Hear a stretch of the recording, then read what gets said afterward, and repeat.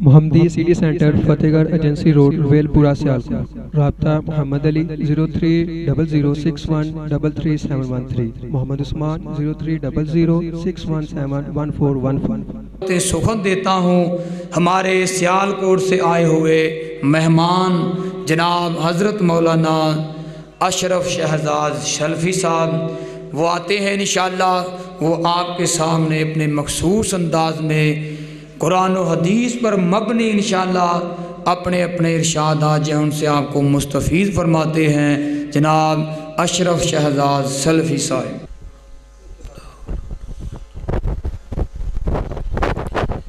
अल्लाम वरहमल वबरकातुहू।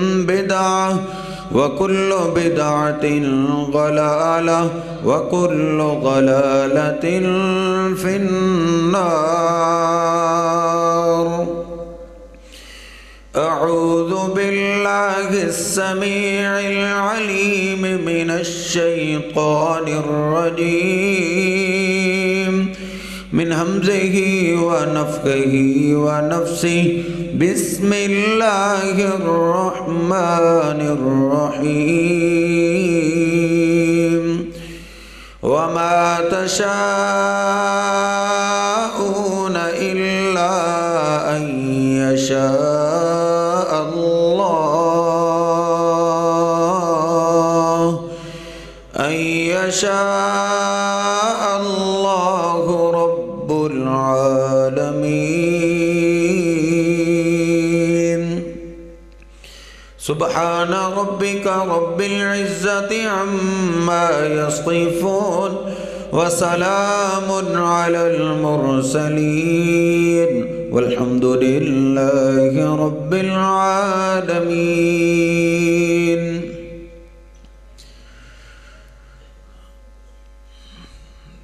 तमाम अम्बिया की पहली दावत वो अकीद तोहीद की रही है हर पैगंबर ने सबसे पहले अपनी कौम को अकीद तोहीद की दावत दी है। उनको मारा गया है, ताने दिए गए हैं, बस्ती से निकाल दिया गया है, फिर भी वो तोहीद की दावत से बाज नहीं आए। मेरे महबूब पैगंबर जनाब मोहम्मद रसूलुल्लाह सल्लल्लाहु अलैहि वसल्लम, उन्होंने भी सबसे पहला पैगाम, सबसे पहली दावत वो अकीद तोहीद की थी। नमाज़ मिराज की रात जाके फ़र्ज़ हुई है। बाकी मसाइल, रोज़ा, हज, ज़क़़त, ये सब मदीने के अंदर फ़र्ज़ हुए। मक्का के अंदर तेरह साल नबी अली सलाम सिर्फ़ अकीद तोहीद की दावत देते रहे। इसकी खातर आपको मारा गया है, फिर भी आपने तोहद की दावत दी है। सबसे पहली सख्ती, सबसे पहली दावत अकीद तोहीद की। हती के इसकी वजह से आपको मजबूर किया गया है। बस्ती आपने छोड़ दी, मदीने आए। मदीना के अंदर यहूदी ईसाई रहते थे। मक्का वालों का शिरक और था, मदीना वालों का शिरक और था। मदीने के अंदर और आसपास यहूदी ईसाई रहते थे, जो कब्रों की इबादत करने वाले थे। कातल अल्लाहूद व नसारा इतखदु कबूर अम्बिया मसाजिदा। नबी करीम सलाम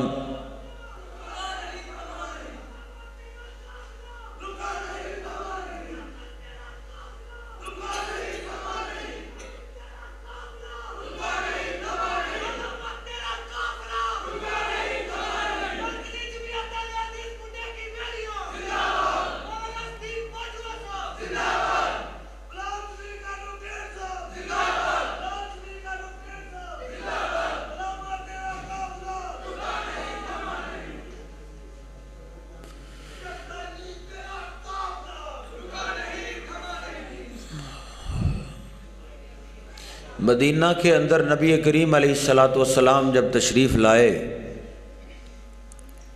तो यहूदी ईसाई थे जो अपने अम्बिया की कब्रों की इबादत किया करते थे। तो नबी सलाम ने मदीना के अंदर भी आके सबसे पहली दावत अकीद तोहीद रखी है। जो भी मुसलमान होता हाँ अंदाज बदल लिए, क्योंकि शिरक का अंदाज मुख्तलिफ़ था, इधर दावत का अंदाज मुख्तलिफ़ कर लिए मदीना में आके जो भी यहूदी या ईसाई मुसलमान होता, नबी अलैहिस्सलाम ने सबसे पहली पाबंदी लगाई कि कोई कब्रस्तान ना जाए। क्यों? यहूदी ईसाई कब्रों की इबादत किया करते थे। कब्रस्तान पे आपने पाबंदी लगा दी। कि बस अगर कोई फौत हो जाता है, उसको दफन कराओ उसके बाद किसी को इजाज़त नहीं है कब्रस्तान की जियारत करने की। नबी अली सलाम ने ऐसी तरबियत की है। अगर तुम्हें काट दिया जाए, अगरचे तुम्हें जला दिया जाए, फिर भी शिरक नहीं करना। नबी अली सलाम तरबियत करते रहे करते रहे। और अल्लाह रब्बुल इज़्ज़त ने कुरान मजीद के ज़रिए तरबियत की। कहा, वमा अंत मुस्म फिल कबूर। पहले आका समझाते रहे कि मरा हुआ कुछ नहीं कर सकता। सोना छोटी मौत है, सो जाए कुछ नहीं कर सकता। मरा हुआ क्या करेगा? यही तरबियत करते रहे, मरे हुए को कुछ नहीं सुनाई देता। मरा हुआ अपने हाथ नहीं हिला सकता, पाँव नहीं हिला सकता। मदीना के अंदर आप ये तरबियत करते रहे। और अल्लाह रब्बुल इज़्ज़त ने भी अनोखा अंदाज बनाया है, वमा अंत भी मुस्म फिल कबूर।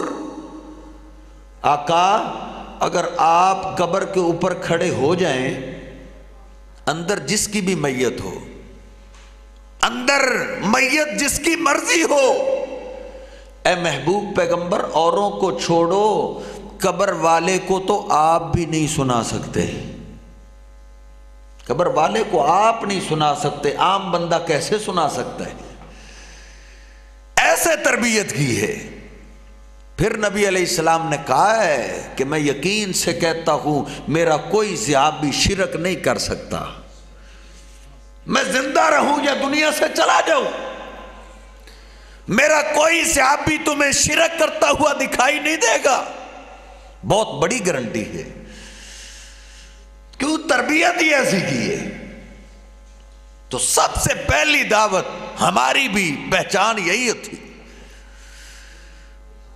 आजकल हम उलमा और खुतबा ने, मेरा शुमार उलमा में नहीं होता, चलो खुतबा में कर लो।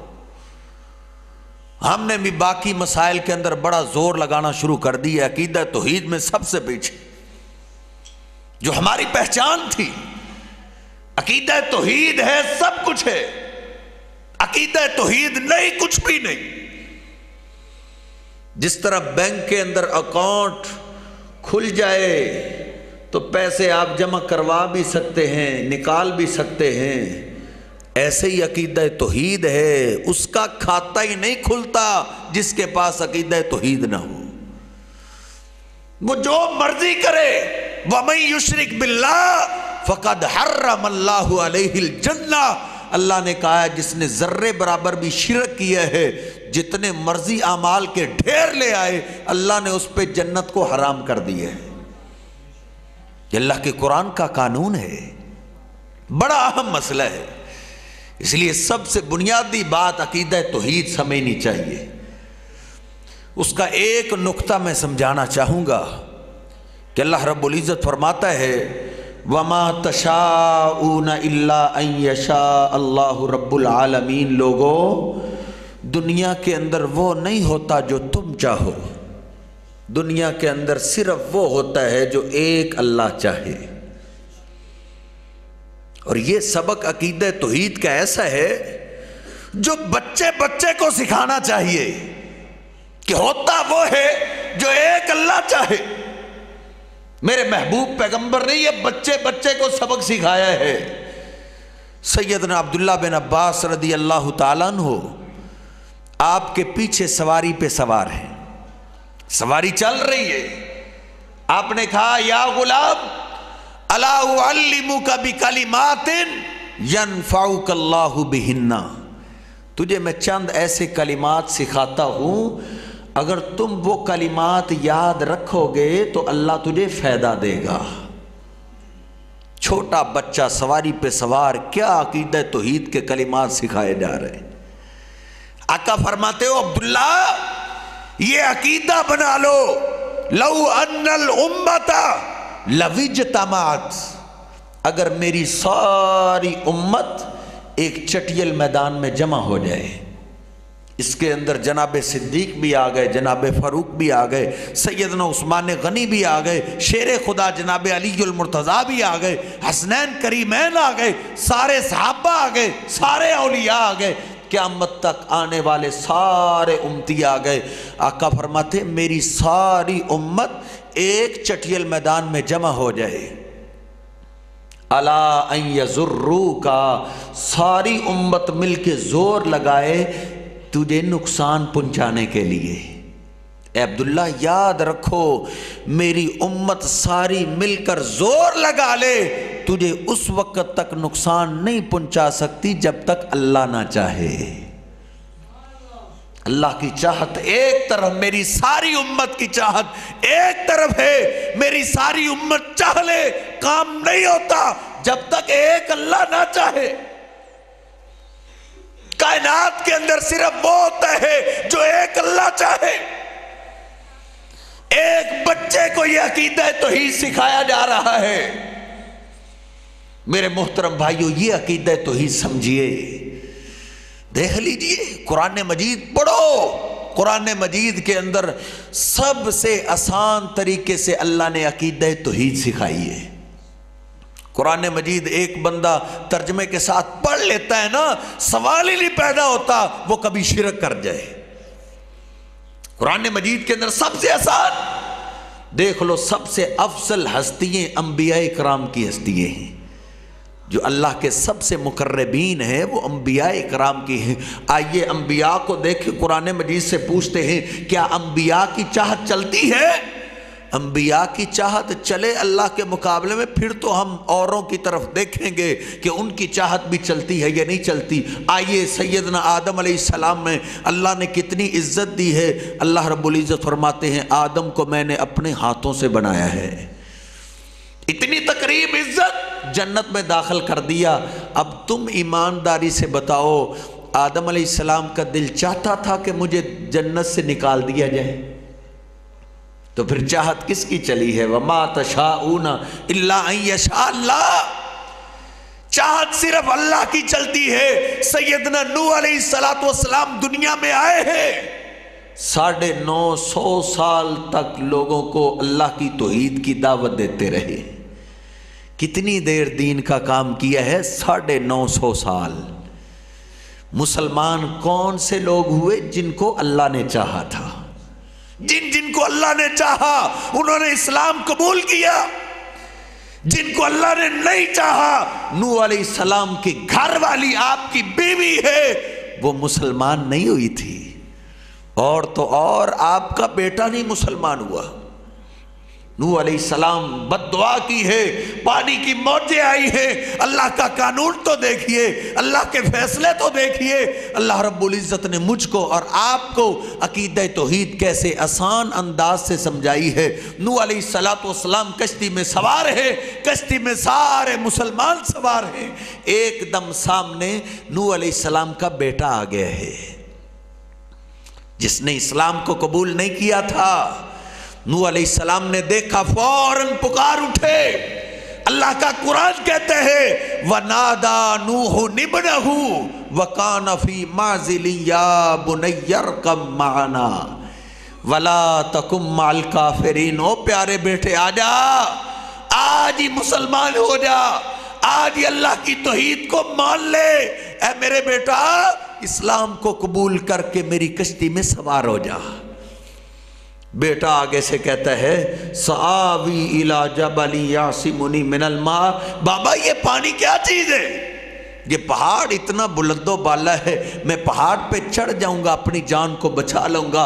बाप रो पड़ा नू सलाम कहते बेटा, ना ऐसी बात ना करो। ये आम पानी नहीं है, ये अल्लाह का अजाब है। अल्लाह के अजाब से आज कोई नहीं तुझे बचा सकेगा। ए बेटा, इधर आ जाओ।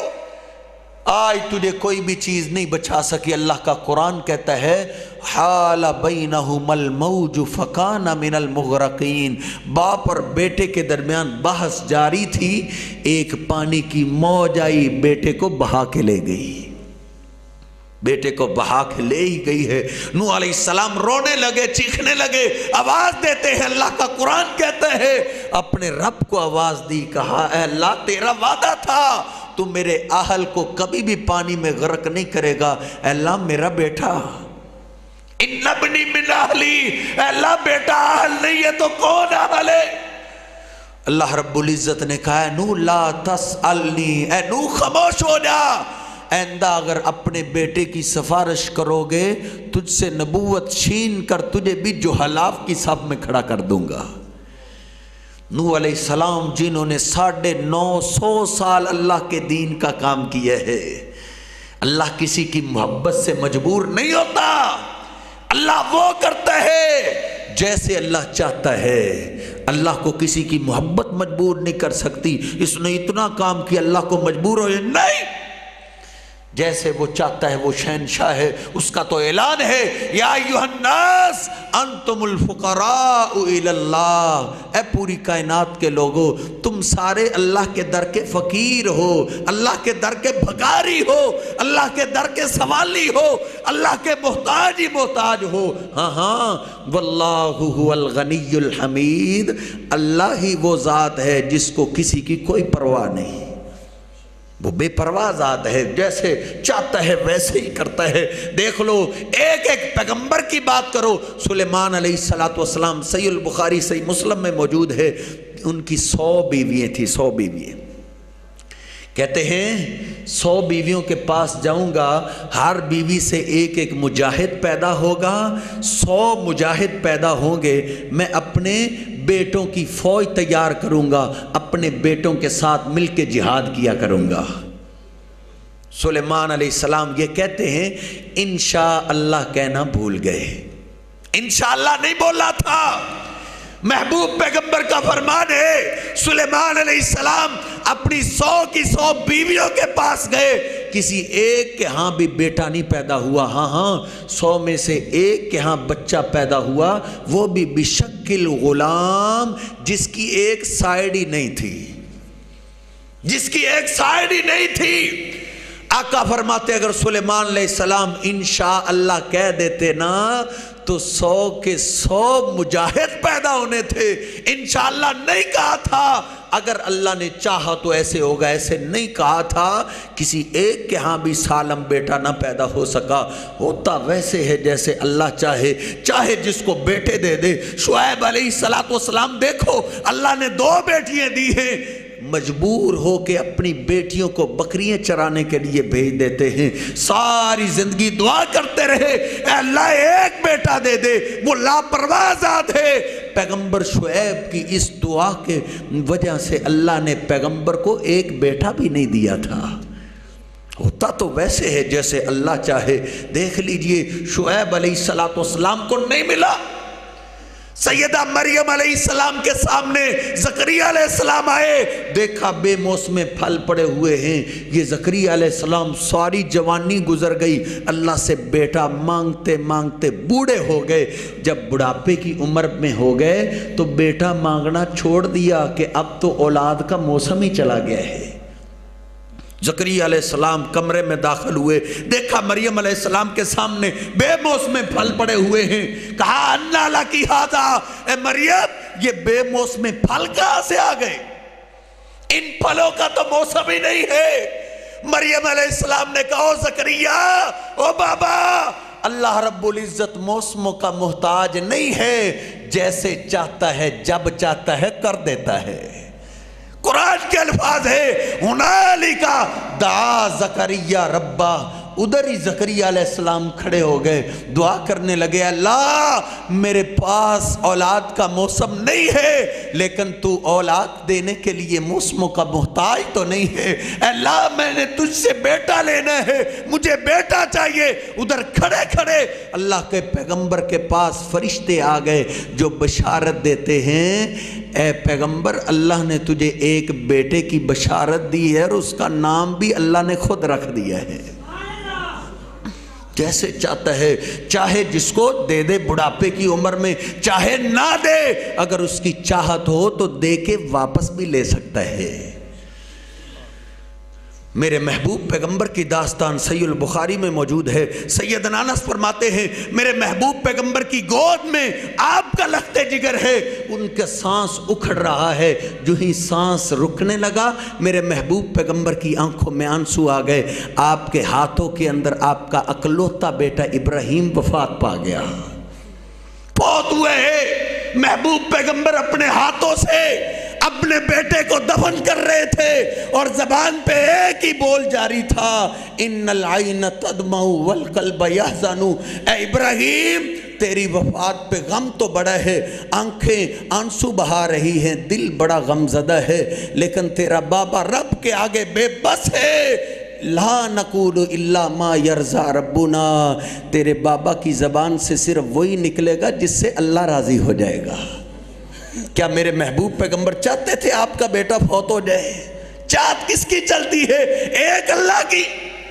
अगर नहीं समझ आई, इधर आओ। दो अल्लाह के पैगंबर हैं, दोनों पैगंबर है। एक नीचे लेटा हुआ है, दूसरा ऊपर है। ऊपर वाले के हाथ में छुरी है, ऊपर वाला भी चाहता है छुरी, काट डाले। नीचे वाला कुर्बान होने के लिए तैयार है, ऊपर वाला कुर्बान करने के लिए तैयार है। दोनों पैगंबर चाहते हैं छुरी चल जाए। बताओ मुझे, कौन सी जात है जो छुरी को चलने नहीं दे रही?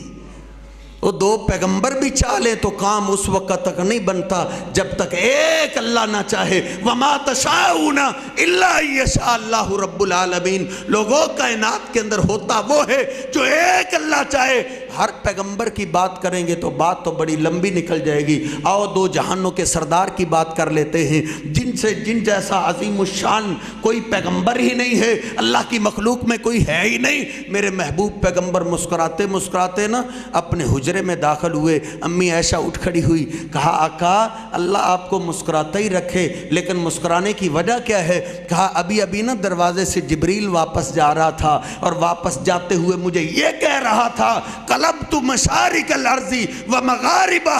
वलम अर अफजल मोहम्मदिन। आका जब से अल्लाह ने कायनात को बनाया है, मैंने मशर को मगरब, शमाल, जनूब पूरी दुनिया का सर्वे किया है।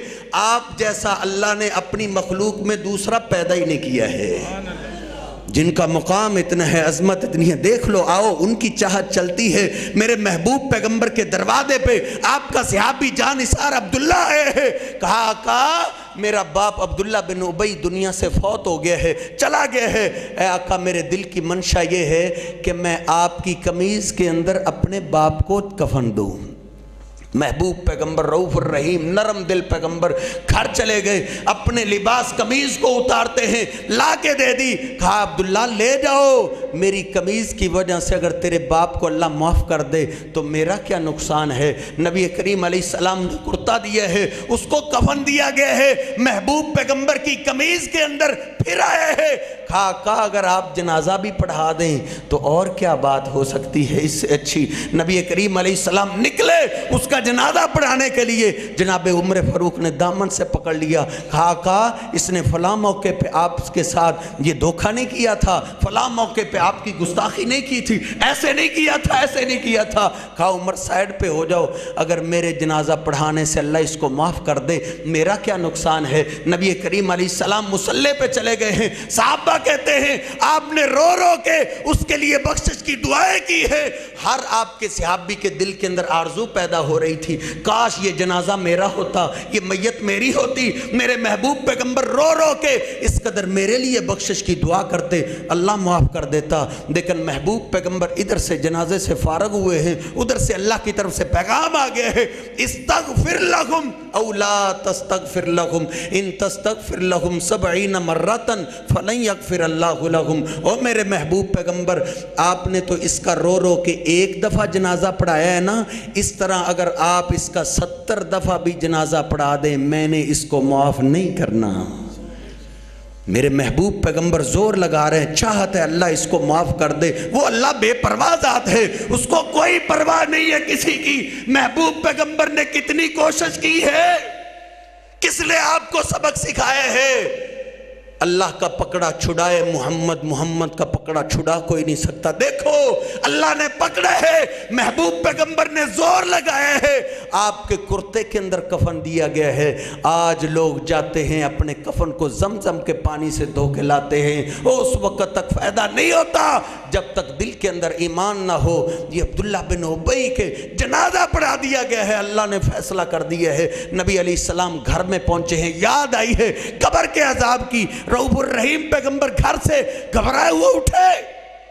गए कब्रस्तान का रोकिए है। दूर से आवाज़ देते अब्दुल्ला, ठहरो।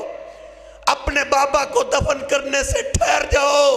नबी सलाम कब्र के पास पहुँचे तो वो अब्दुल्ला बिन उबई, मुनाफक को लाहद में उतार चुके थे। देखो शफकत की अखीर है, आका ने रहम तरस करने की अखीर कर दी है। सही मुसलब उठा के देखो। उसको कब्र के अंदर लाहत में उतार दिया गया है। मेरे महबूब पैगंबर ने कहा, इसको बाहर निकालो। आपके साथियों ने उसको बाहर निकाला है। मेरे महबूब पैगंबर नंगी ज़मीन पे बैठ जाते हैं। आपने अब्दुल्ला बिन उबई को अपनी गोद में ले लिया है। आपने अब्दुल्ला बिन उबई के चेहरे पे थूकना शुरू कर दिया है। ये वो लुआब है जो कड़वे कुएँ में गिरा था, मीठा हो गया था। ये वो लुआब है सैदना जाबर की हंडिया में पड़ा था। चंद आदमियों का खाना, कितने लोग, पूरा लश्कर ही खा गया था। वे ये वो लुआब है जो जनाब सिद्दीक की एड़ी पे लगा था। कभी दर्द नहीं हुई थी। ये वो लुआब है जो मेरे अली की आँख में लगा था। जनाब अली कहते हैं, उसके बाद कभी मेरे सर को भी दर्द नहीं हुआ था। आज यही लुआब अब्दुल्ला बिन उबई के चेहरे पे लगाया जा रहा है। हती कि महबूब पैगंबर ने अपनी उंगलियों के साथ उसके मुँह को खोला है। अपना लुआब दहन अब्दुल्ला बिन उबई के मुँह में डाल दिया है। अब्दुल्ला, अब पकड़ो। ए अब्दुल्ला अब अपने बाप अब्दुल्ला को अब्दुल्ला बिन उबई को उठाओ। अब लाहद में उतारो, हमने तो पूरी कोशिश कर दी है। अब कब्र तैयार हो रही है। महबूब पैगंबर मुंतज़र हैं कि चलो, अब कब्र तैयार होती है, फिर बख्शिश की दुआ करते हैं। नबी करीम सलाम खड़े हुए हैं। अल्लाह की तरफ़ से पैगाम आता है। कुरान मजीद के अल्फाज हैं, यार, किसी सैफुल मलूक की कहानी नहीं है। अल्लाह की तरफ़ से क्या पैगाम आया? वला तुसल आला माता आबादा, वला तकुम आला कब्र ही हो मेरे महबूब पैगंबर पहले आपको इख्तियार था को मुनाफक मर जाए तो उसका जनाजा पढ़ा सकते हो।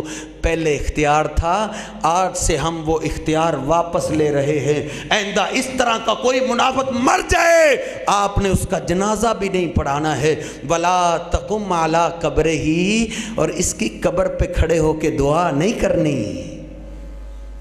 आपको किसने सबक दिया है? जी, हमारे पीर साहब, वो जहन्नम के किनारे पे खैमा लगाएँगे। अल्लाह के हुक्म से फरिश्ते हमारे मुरीदों को जन्नत में फेंकेंगे ना, पीर साहब उनको निकाल निकाल के जन्नत में फेंकते रहेंगे कि झूठी दास्तान है, ये आपके ईमान के भी डाकू, आपकी दौलत के भी डाकू हैं। कहते हैं, साल के बाद मुझे नजराना दे देना, बल्कि आपके मुल्तान के अंदर एक इलाका है, शेख रहमानी साहब बता रहे थे, जहाँ कब्र के लिए जगह बिकती है। कि इधर जो दफन हो जाता है, पीर साहब की तरफ़ से फुल गारंटी है, उसको कब्र का आदाब नहीं होगा। इधर देखो मेरे महबूब पैगंबर ने कितनी मेहनत की है, कितनी कोशिश की है। आपकी कोशिश के बावजूद अब्दुल्ला बिन उबई जहन्नम के अजाब से ना बच सका। क्यों नहीं बचा था? मेरे अल्लाह ने नहीं चाहा था। होता तो वो है जो अल्लाह चाहता है। हाँ इधर आए, जिधर अल्लाह चाह ले तो पता है कैसे होता है? सैल बुखारी उठाओ। एक यहूदी बच्चा मेरे महबूब पैगंबर की खिदमत किया करता था। नबी करीम सलाम ने उसको गुम पाया। दो चार दिन से आया ही नहीं। नबी सलाम ने पूछा, क्या हुआ है? कहा, का वो बीमार हो गया है? नबी सलाम उसकी तीमारदारी के लिए निकले। सहाबा साथ हैं, इजाज़त तलब की, अंदर गए। सैयद नालस फरमाते हैं, हमने उस बच्चे को देखा, चढ़ती जवानी वाले बच्चे को देखा। वो आखिरी सांसों पे था। नबी इस्लाम उसके पास बैठ गए। कहा, या गुलाम असलिम, ओ प्यारे बच्चे, मेरी खिदमत तुझे इस्लाम के बगैर फ़ायदा नहीं देगी। अगर इसको कारामद बनाना चाहते हो। आओ, कलिमा पढ़ो, मुसलमान हो जाओ। हदीस के अल्फाज हैं, वो अपने बाप की तरफ़ देखने लगा। बाप भी यहूदी आलिम था। उसने कहा थे अबुल कासिम बेटा, घर में आए हुए मेहमानों को खाली नहीं लुटाते। अबुल कासिम की बात मान लो। नबी करीम सलाम के इस खिदमत गुजार यहूदी के बच्चे ने बाप के इशारे को सुनते ही, वो मानते ही कलमा पुकार दिए है। जो ही कलमे का अख्ताम हुआ इधर से रूह परवाज कर गई। मेरे महबूब पैगंबर की आँखों में आँसू है। रोते हुए आपकी जबान से एक ही जुमला निकल रहा है। अल्हम्दुलिल्लाह मिनन्नार। तमाम तारीफ़ें उस अल्लाह के लिए हैं, जिस अल्लाह ने इस बच्चे को जहन्नम से बचा के जन्नत में दाखिल कर दिया है। इधर देखो कोशिश कितनी है थोड़ी सी कोशिश है। उधर तो अनथक कोशिश की है। उधर तो अजाब से नहीं बचा उधर जहन्नम से नहीं बचा। इधर बच गया है फ़र्क मुलाजा कीजिए। फ़र्क ये है उधर अल्लाह ने नहीं चाहा था इधर अल्लाह ने चाह लिया था।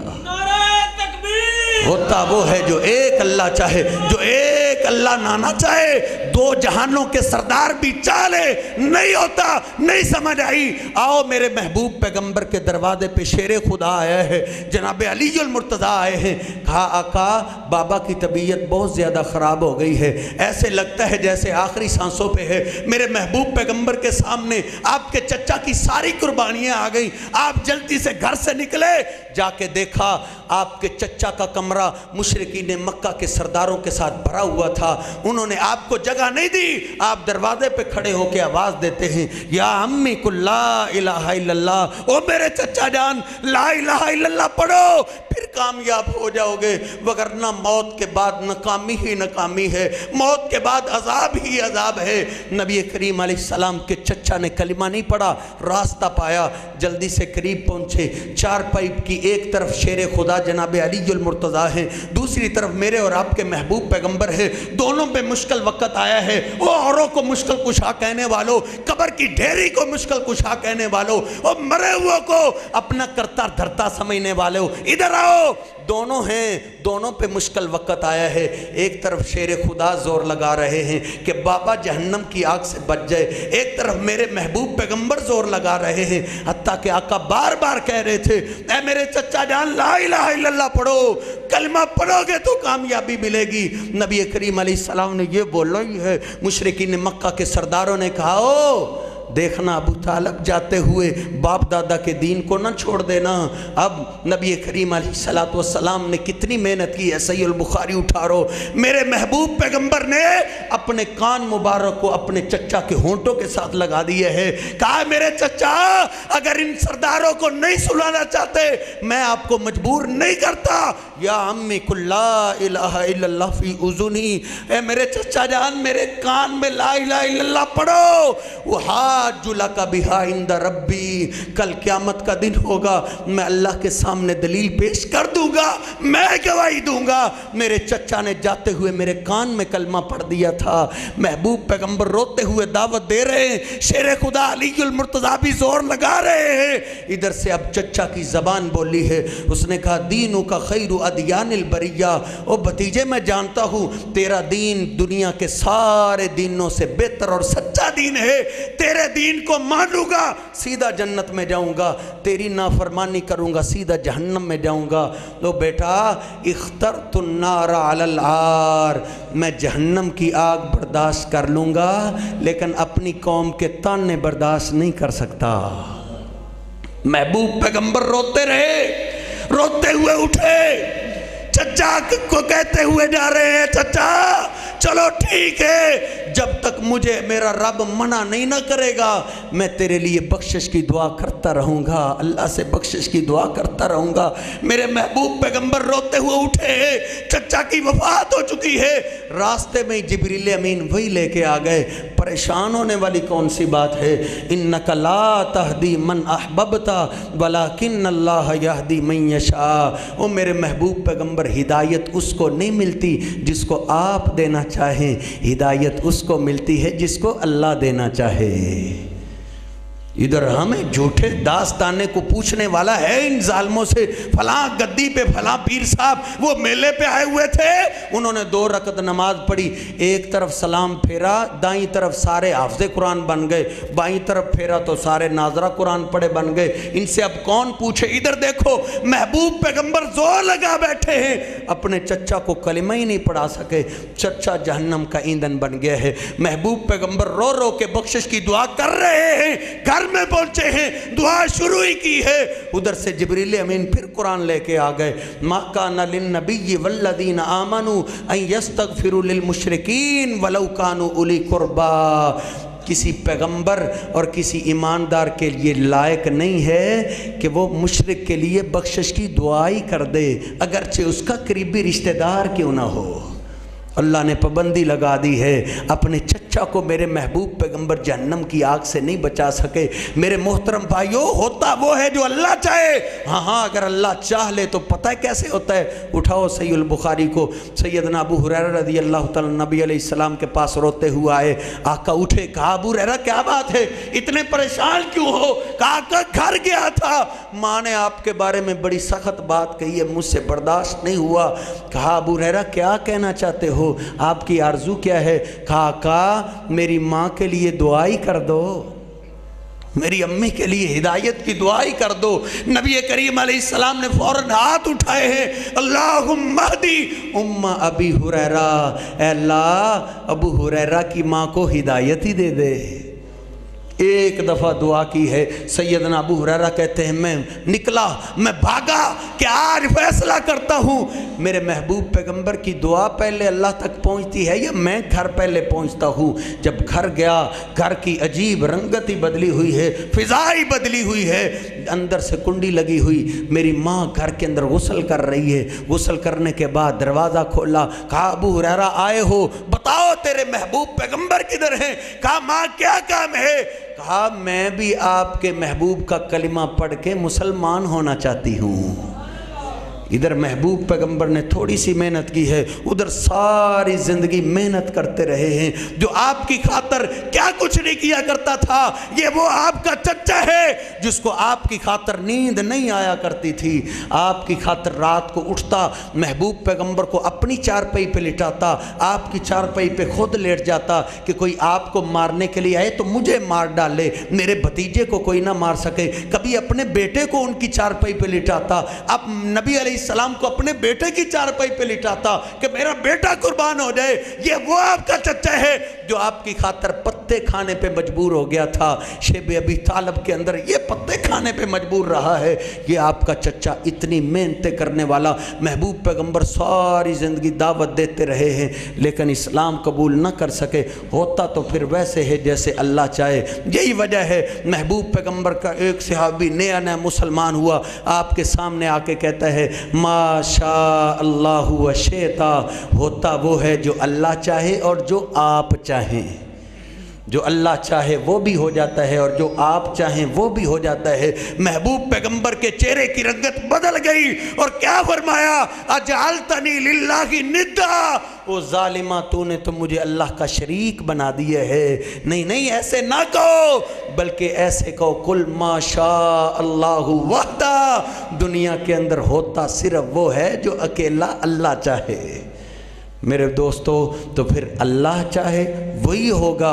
अल्लाह के पैगंबर अगर चाह लें, अल्लाह नाना चाहे, वो भी नहीं होता तो फिर और किसकी चाहत हो सकती है? महबूब पैगंबर से अल्लाह तो कायनात के अंदर है ही कोई नहीं। इससे अरफा तो कोई कायनात के अंदर है ही नहीं। आखिरी बात अर्ज़ करता हूँ, महबूब पैगंबर खुद फरमाते हैं, दो फरिश्ते आसमान से ज़मीन की तरफ़ आए हैं। एक के हाथ में तराजू था, दूसरा मेरे पास ही आ गया। कहा, ज़रा इसको तोलो तो सही। आका फरमाते, मेरा वज़न किया गया मुझे तराजू के एक पलड़े में रखा गया, दूसरे पलड़े के अंदर एक आदमी मेरा वज़न भारी, फिर दस आदमी मेरा वज़न फिर भी भारी, फिर सौ आदमी मेरा वज़न फिर भी भारी। दूसरा फरिश्ता कहता है, जिन हो बे अल्फिन, इसको हज़ार के मुकाबले में तो लो। आका फरमाते हज़ार के मुकाबले में मुझे तोला जाता है, मेरा वज़न फिर भी भारी था। दूसरा फरिश्ता कहता है, इसको कब तक तोलोगे? इसके मुकाबले में पूरी कायनात के लोगों को भी रख दिया जाए, इसका वज़न फिर भी भारी रहेगा। जिनका मुकाम इतना है, अजमत इतनी है, अगर उनकी चाहत अल्लाह के मुकाबले में नहीं चल सकती तो और किसी ज़िंदा मुर्दा की भी नहीं चल सकती। अल्लाह रब्बुल से दुआ है, अल्लाह रब्बुल इज़्ज़त मुझे और आपको सही मानों के अंदर अकीद तोहहीद समझने की तोफ़ी अता फ़रमाए, फिर इसी की दावत आम करने की तोफ़ी अता फ़रमाए। वकुल को लिहाजा अस्तफ़ुल्ला वलकुम मुस्लिम